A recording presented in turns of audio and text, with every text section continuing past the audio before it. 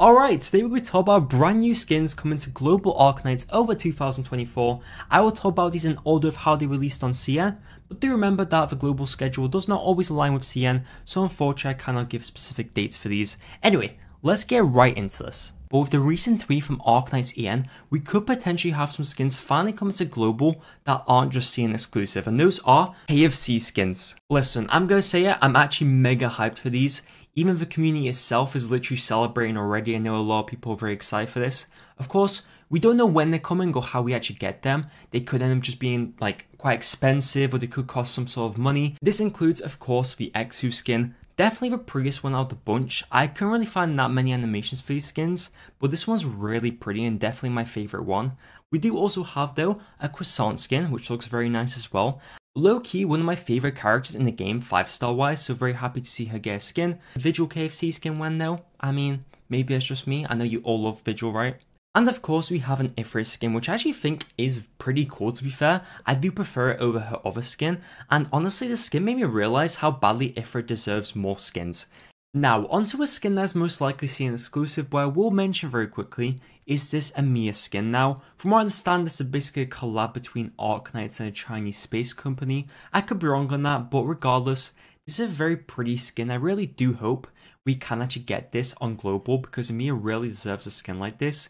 The actual animations as well, even though nothing crazy, they're actually pretty cute, especially her base animation with the planets. I actually really like it, low-key. Now, moving on to the real events that will be coming to global, guaranteed. Next up, we have the Typhon event. This will be coming with four skins. The first skin is actually a free skin we can get as part of the event rewards, which is this Ambriel skin. Honestly, I've said many times before, but I really do love this skin. Actually, I love the colours to it low-key. Like, if there's any bright colours on the skin, it does generally become my weakness just to get the skin most of the time. So I'm very happy that this one is going to be free, so you don't really have to worry about saving for it. But one skin I will be saving for is this next stainless skin. Now, the animations on this one are actually brilliant, mainly because there's so many cats. It's literally so mega cat themed and on his third skill, the aura around him is actually low-key really cool. It's like a cloud of basically a cat behind him. I'm a massive fan of the skin and cannot wait for it to drop. I will be getting this 100%. And we also have a Saileach skin that is coming in the event which looks pretty. I'm gonna say I, am kind of a fan of it, but I don't know why it is. It kind of feels like she's quite far away on the skin. Of course, you can zoom in once you go into like the lobby and stuff, but it's a bit of a weird skin in that sense. I still do like it, and I will probably get it, even though I don't have Saileach, which is kind of funny to think about. But we also have finally the beeswax skin. Now, personally, not a massive fan of beeswax, but I'm sure some of you will like the skin regardless.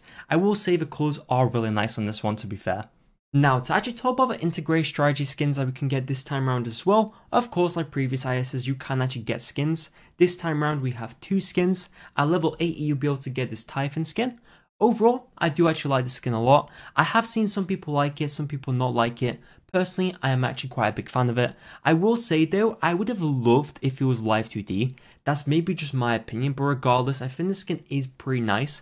And I'm honestly just gonna say, I'm very curious how Typhon carries around a weapon that is so big. Can we just talk about that? But next up, at level 125 on this, you'll be able to actually get a Santalla skin. I've talked about skin a couple times before, but honestly, I don't really like it. I think it's just not that good. I was originally hoping for something that was a bit more exciting when this kind of first got revealed, but it is what it is, and it is basically a free skin if you play enough, so I'm not really going to complain about the skin. Now, the next event we have up is Dorothy's Vision Rerun. Now, this will be coming with only one skin, and that will be for Estene, who is the free unit on this actual event. The skin will cost 18 originally, and overall, it's not my type of skin, but the can left, to be fair, does give extra brownie points, now, we'll be very curious to see how many people actually get this skin because, like I said, it's not for me, but maybe you guys will actually like this skin. Now, moving on to the next event, we have the Trial for Navigator free. This will be coming with two brand new skins. First of all, we have a free event reward skin for Ceylon. Gonna be honest, a lot of people tend to have a go at me for forgetting who Ceylon actually is.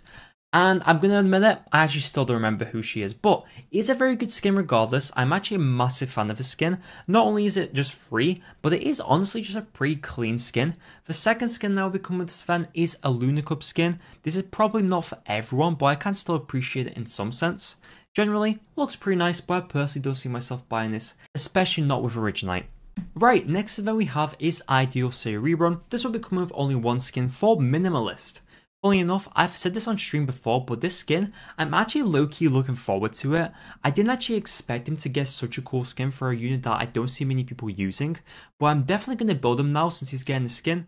Alright, now moving on to the Jessica Ultra event. This actually comes with some of the previous skins I think I've seen in Arknights, and I believe this is a collab with a museum, but I could be wrong on that. But first of all, of course, we have the Live 2D Ling skin.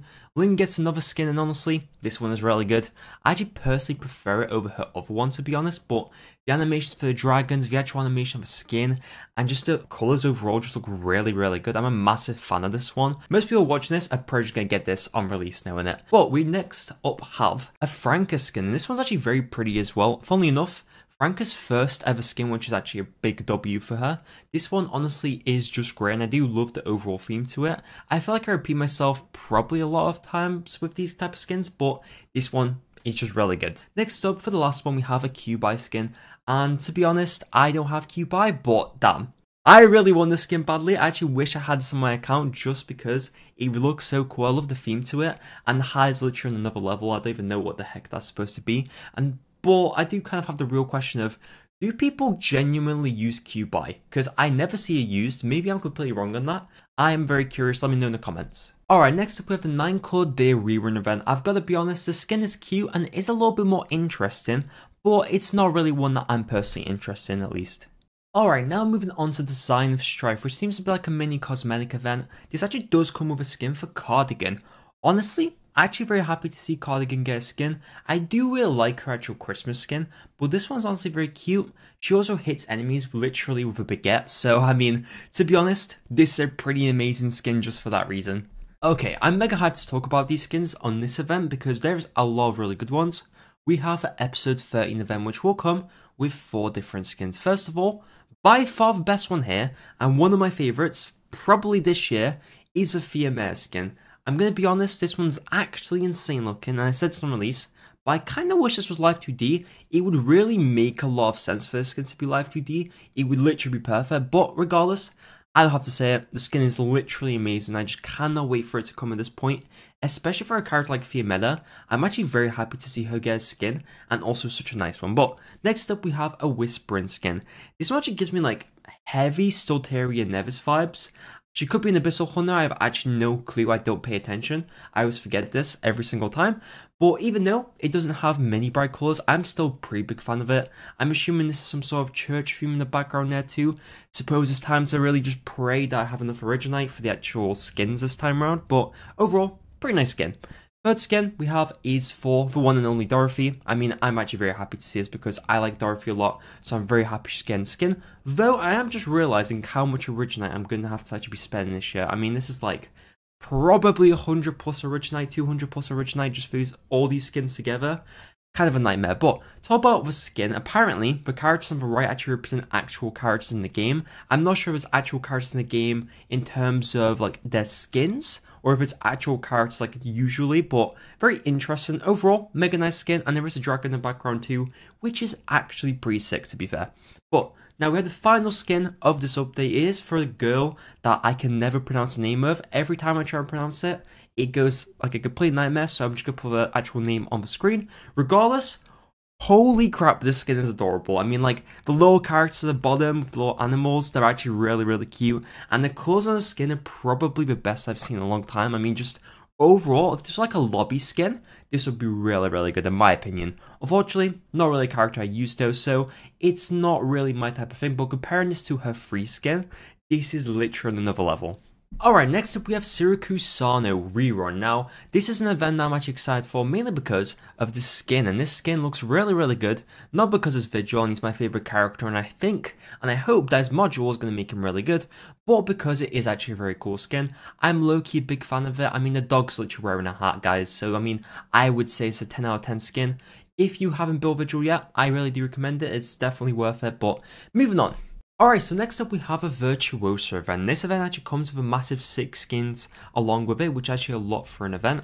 The first skin we have though is a free skin for Meteor that you can actually get by logging every day. Like usual, any free skins of course always are very appreciated, and even though a skin is actually very simple and doesn't have that much going on, it's generally pretty nice to be honest.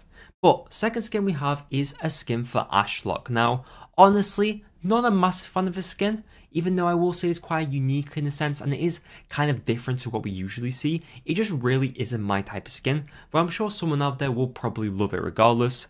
Now, onto the third skin, we have one for Absinthe. I'm not sure if I said that name correctly, but this skin I have said before, I wasn't a big fan of, and to be honest, it has actually kind of grown on me. Like, it's not actually that bad. It has overall just being a pretty decent skin. I actually do kind of like it now. I don't see myself buying it realistically, but do let me know down below if you are actually going to get the skin because I'm genuinely curious. Now, moving over to the next three amazing skins come in, I want to skip straight to this part. First of all, we have a skin for Texas Alter Live 2D skin.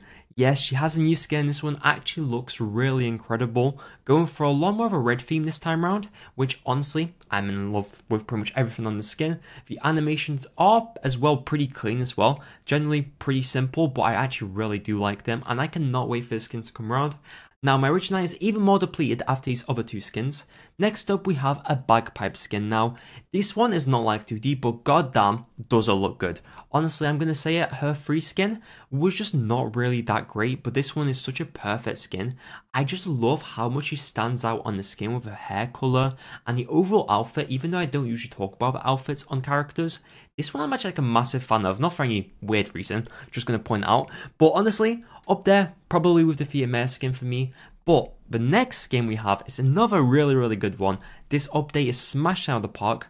The final skin for the event we have is a Mlynar skin, and it is Live 2D like it should be. Honestly, this skin is insanely nice, and when it's Live 2D, it can actually change the background, which I'm assuming shows his past when he was younger. Honestly, not a massive fan of the story in terms of games, but this is just really cool. If you like lobby skins, this is probably going to be the best lobby skin, mainly because I've seen it in the lobby, and it just constantly changing backgrounds really is good. Next up, we have Contingency Contract 1 event. This actually comes with one free skin that will be for Flamebringer. Honestly, nothing too special. He does look cool, but low key, not gonna lie to you, I actually already like his E2 art that he has, so not sure if I'm gonna use this, but of course, it's a free skin, so that's always a W anyway. Now, moving on to the Rita Lake Silberneherze event, we actually have some Christmas themed skins this time. Can't wait to get these Christmas skins, by the way, in the summer when it comes around. I mean, that's that's the biggest Arknights moment ever. But the first skin we do have is one I'm really hyped for, and that's a Penance Christmas skin. Honestly, she's deserved the skin for a very long time now. I mean, Horn got one before her, which I think is a big shame because she really deserved one, but it's a pretty simple skin in the grand scheme of things, but still a very cool skin regardless. Now, moving on to the next skin, we have a Quinplat skin. This one reminds me a bit of the skin that Grey had, where it was also Christmas themed. This one is actually really cool though. I look would really love to get this skin, and overall the theme to it is just really solid. As the only person who's probably going to have Quinplat built, to be fair, I can actually finally feel special now, for once. But the final skin we have coming is one for a character I can never pronounce the name of, and I'm not even going to try and pronounce the name of, but this skin is actually very interesting one. I mean, the outfit is like something for sure, I'm just going to say that. The outfit is pretty crazy, but the overall colours and just how it looks is delectable. And I searched a lot, but regardless, that is 8 out of 10 for me on that skin. Alright, next up we have the Reed Alter Event Rerun. Now this only comes with only one skin, but this does actually have a very cool one. It's actually for puzzle. Low key, I really do like puzzles as a character, so I'm actually very happy to see this be in the game, but I do have to very quickly say, surely it's mega uncomfortable to be sitting on your tail like that. Maybe it's just me, but I always think that when I see a skin. Alright, next up we have this New Year's event login. Now this is basically something I just log in every day and you get the skin. This skin is actually for Ansel and I actually got a soft spot for Ansel. On a very quick mention as well, this is a dude. I know a lot of people who start the game like, oh, it's a pretty cool female waifu character. No, well, waifu is also subjective, but no. I wait. That means that I would think that. I, listen, I take it back. It's a cool skin. I like it. It's very cute and it is free, so that's a big W. Let's move on to the next one very quickly before I actually incriminate myself. Alright, now onto one of the newer events that has come to CN and released, that is the Grinning Valley event. It actually comes with three skins, and the first one is this free Earth Spirit skin. To be quite honest, it's not my type of skin specifically, just straight up, but it is free, which is obviously nice, and it is quite a cozy skin, but like I said, it's just not really my type of skin. But the second skin we have here is actually a mint skin. Now this one is actually really nice, like straight up, she's holding some sort of cube, and she's actually pretty cute on the skin as well. Overall, a W skin, and even though I don't have it built, I might honestly build it just for this skin to be honest. Alright, now onto the final skin of the event, we have a really, really nice one this time. This one is actually for Redota, and it is Live 2D as well. Honestly, absolutely insane looking skin. I didn't even see this one coming, but I'm all for it. I know that some of you are probably going to get this straight away, and to be honest, I will too. But from what I've seen, this is kind of like a witch-like theme. That's my guess, and the dragon behind her is actually a really badass too, to be honest. Overall, 10 out of 10 skin for me. Unfortunately, though, we'll probably have to wait a long time for this, maybe like six, seven months is my guess. So we're gonna have to wait, but it will be worth the wait, in my opinion. Now, for the final skin of this whole entire video, and if you did enjoy this video, please do drop a like. Honestly, it does mean the world to me. I'd really appreciate it. But we're going to end this on the brand new Jieyun skin, which honestly looks absolutely gorgeous. A very nice skin to end on.